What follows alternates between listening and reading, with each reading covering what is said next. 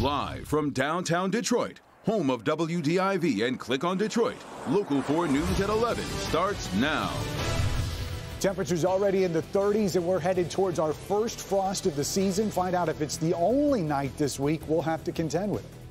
The heartbreaking case of a 14 year old boy from Ash Township who had a catastrophic asthma attack and then a heart attack. What happens to him all comes down to what happens in this courtroom tomorrow morning.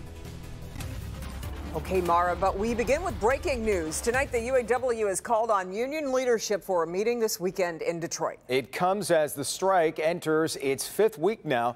Priya Mann live in downtown Detroit with details of that meeting and what it means for a potential deal here. Priya?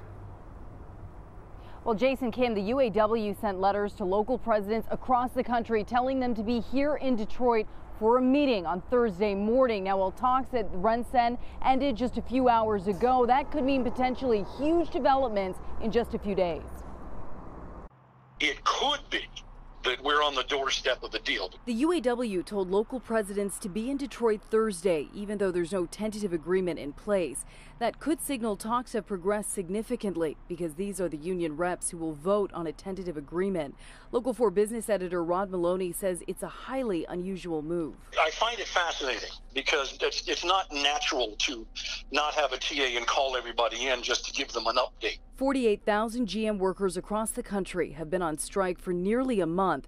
A few days ago, the union said their pay would go up by 25 bucks to $275 a week. Nobody's comfortable. Nobody's liking this. Nobody's enjoying this. I think that, you know, by, by hearing this, I have to imagine that their heart might skip a beat tonight, that there is the possibility of being on the doorstep of the deal. The biggest issues on the table wages, the fate of temporary workers, healthcare costs, and the fate of U.S. plants. They may come to a deal in the next day or two. They'll have the presidents in town, and then they'll be able to do something, uh, maybe have a deal, or if not, uh, you know, send them home. Now, whatever happens, this marks a significant milestone in talks, and members may have reason to be cautiously optimistic tonight. Stay with Local 4 for the latest developments on air and click on Detroit.com. Reporting live from downtown Detroit, I'm Priya Mann, Local 4. Okay, Priya.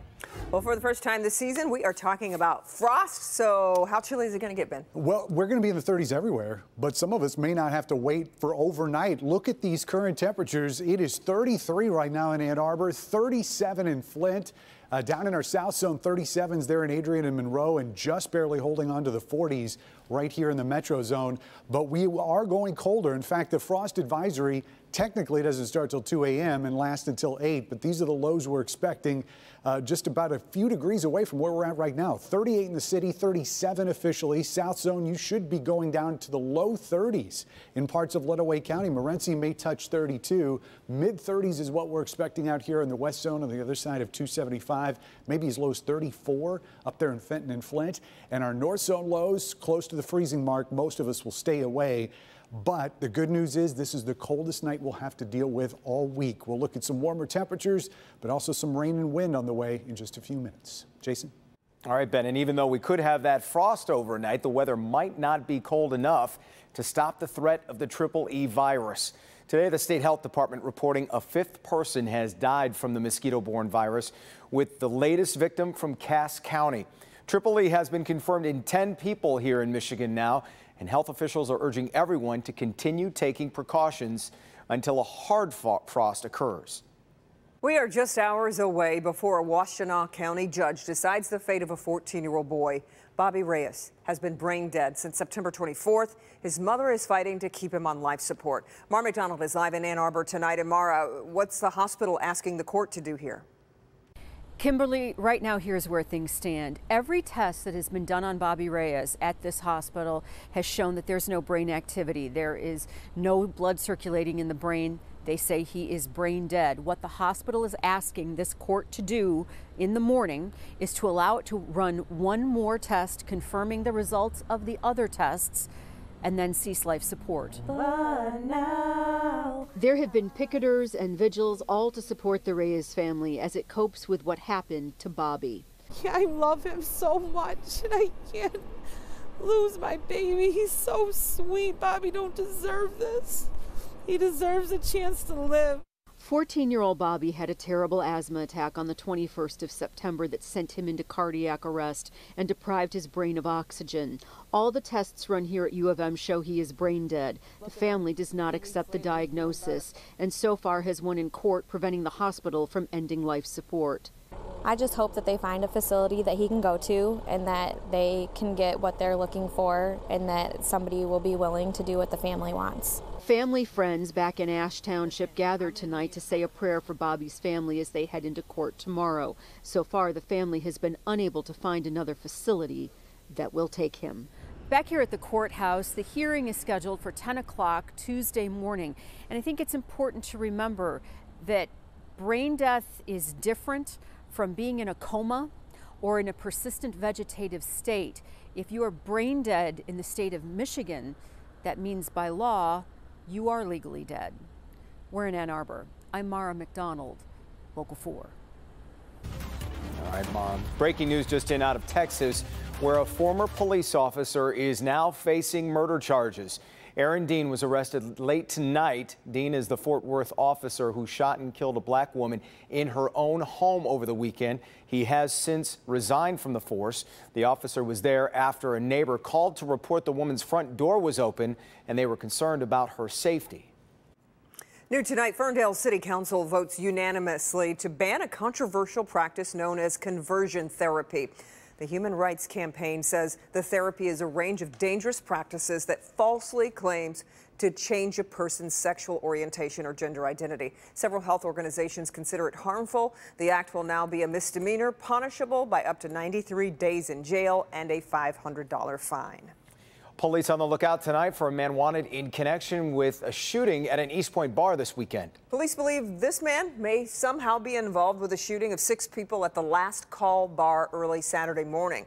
Police say an argument escalated outside the bar and a gunman opened fire.